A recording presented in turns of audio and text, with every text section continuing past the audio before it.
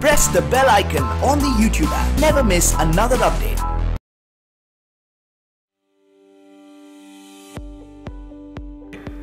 So so, एक company के अंदर दो चीज़ बड़ी इंपॉर्टेंट होती हैं।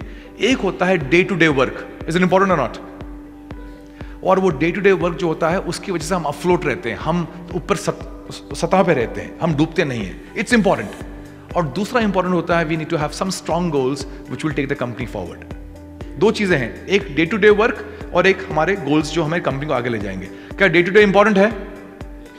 क्या गोल्स इंपॉर्टेंट है? लेकिन जब दोनों में से एक सिलेक्ट करना होता है, जीत किसकी होती है? डे टू डे की। ये दोनों पैरेलली चलने चाहिए day to day work and goals for the future जब ये इन दोनों में क्लैश होता है when they confront each other तो फिर जीत डे टू डे की होती है। और डे टू डे को हमने एक वर्ड बोला है टीजीओबी में। फावड़ागिरी।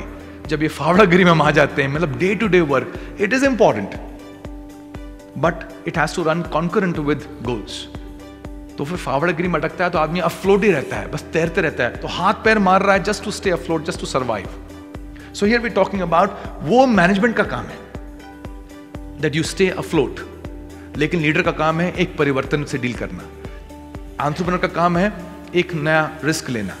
So I am saying you got to be in entrepreneurship level and leadership level you got to come out of management then you can talk about being a next generation enterprise you can not be a next generation enterprise if you are dealing with day to day challenges